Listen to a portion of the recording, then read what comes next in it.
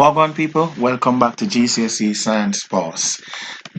In today's video we're going to be looking at a GCSE past paper question on the motor effect. Alright, so a teacher demonstrated the motor effect. Figure 5 showed the equipment used. So you have two magnets here and you have a wire which is carrying a current. Okay, explain why there's a force on when the wire sorry, explain why there's a force on the wire when there is a current in the wire. So firstly, you must mention that there's a magnetic field due to the magnet. So that's the first thing. So there is a permanent magnetic field. Okay, so there's a permanent magnetic field due to the magnets. Okay, that's your first marking point. There is also a magnetic field due to the current in the wire.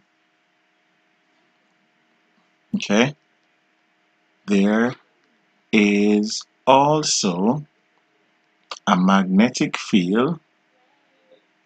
So there's also a magnetic field due to the current carrying wire. So what you have is a magnetic field here. Alright, there's a magnetic field inside another magnetic field and they interact. Okay, they're interacting. All right? Or they cut each other. All right? So it runs from north to south. Okay? And there's an interaction of that there so they interact. And once you mention that you're going to get your marks there. So there's some sort of interaction between the magnetic field of the wire and the magnetic field of the magnets. And once you mention that you're going to get your two marks. Now next question says and students often have so much difficulties with this and it is very understandable okay?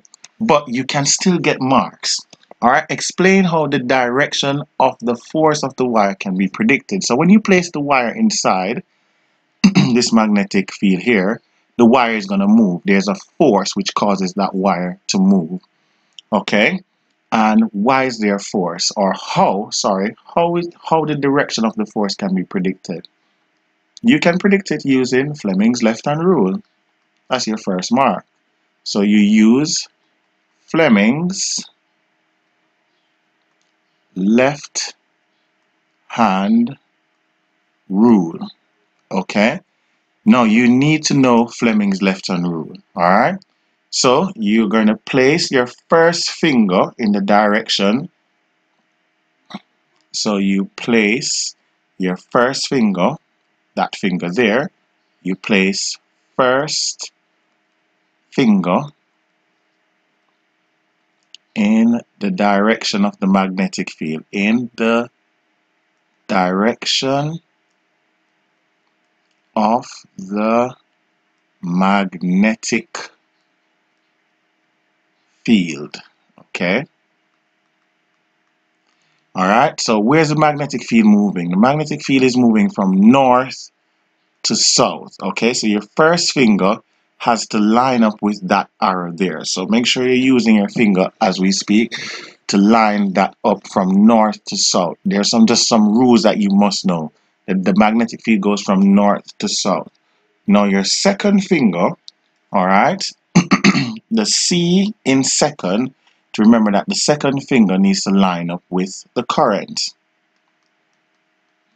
Place second finger, alright, in direction of the current, okay, of the current. Alright, and look, they've identified where that finger should be pointing. So you should be using your left hand your second finger should be pointing into the the screen right? And if you align your fingers correctly you should now note that your thumb is going downwards. So the direction that the that the wire will move is going to jump well it's going to move downwards. Alright so your thumb alright sorry your thumb gives the direction direction of the force. Okay? Once you've said all of that you will get your marks okay?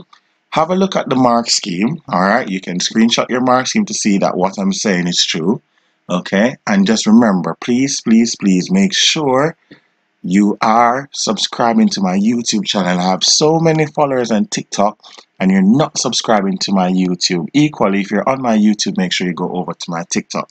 All the best in your GCSE science.